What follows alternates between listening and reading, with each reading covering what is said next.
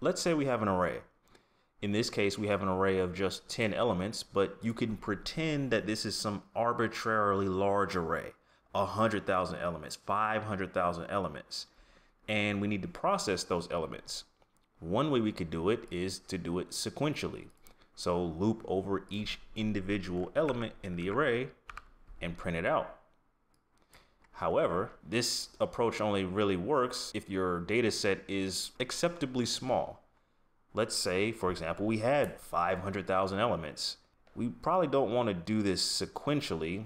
Right now, it's probably harmless because we're just printing, but let's say we were making like a database call. Like, let's say these were database updates, for example, that we needed to make.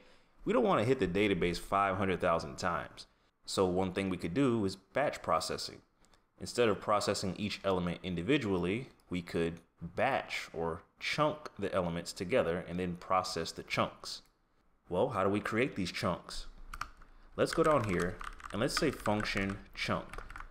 And this chunk function is going to actually be a generator function. And it's going to have a type parameter t. And we're going to want to tell our chunk function A, the elements that we want to create chunks out of, and B, how large we want each chunk to be. And so let's say batch size, uh, number, and then items, the actual items we want to be able to chunk. And we're going to give it a type of array of type T. And so we're going to be able to basically tell it, uh, if we want to, what type these items are. And then it's going to return, since it's a generator function, it's going to return a generator and it's going to return a generator of an array of type T's. So what chunk is going to do is it's going to loop over all the elements in the array, however large it is, and it's going to return these subarrays or chunks that are batch size large. And then that'll enable us to be able to do some batch processing instead of having to do all of the processing individually. And because chunk is a generator function, that means we don't have to loop over every item in the array before returning the first chunk. We could find the first chunk and then return it. And then we call chunk again and we get the next chunk and return that one. And this will allow us to loop over arrays that are very large without running into performance issues. All right, so let's go inside of chunk and we're gonna create a loop for let i equals zero i is less than items dot length and then i plus equal batch size. So basically we're looping over all the elements in items, but we're not doing it one by one. You can see that the incrementer here is i plus equals batch size. So this for loop is gonna basically run in batches instead of on each individual element.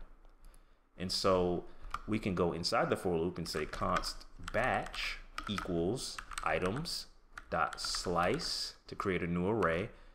And then the index we want to start at is i, and then we want to go to i plus batch size. And this should get the next chunk out of the array uh, based off of where we're at in the for loop. And then all that's left to do is to yield this batch. And this will return the current batch to whoever called chunk. And so let's go back up here and let's bring this down here.